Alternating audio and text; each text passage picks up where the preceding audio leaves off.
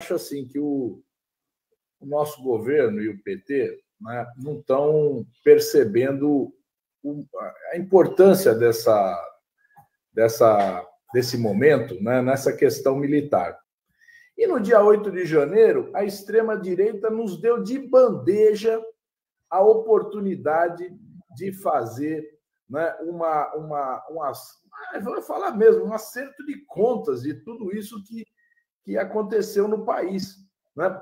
Todo o extremismo se expôs como nunca se imaginou que ia se expor. Essa tentativa de golpe envolve é, lideranças do agronegócio, né?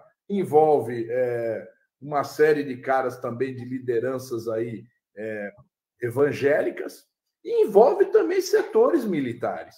Né? Então, porque não haveria os acampamentos sem a, a, a condescendência dos comandantes militares. Mas a gente já sabe que, mais do que isso, houve envolvimento, articulação de militares. Prova é que tem grupos de WhatsApp onde eles trocavam informações né, e também faziam planejamento de apoio ao golpe. Então, o, o, o, primeiro, eu acho que o governo devia tirar o veto que vem fazendo a CPI através do Múcio.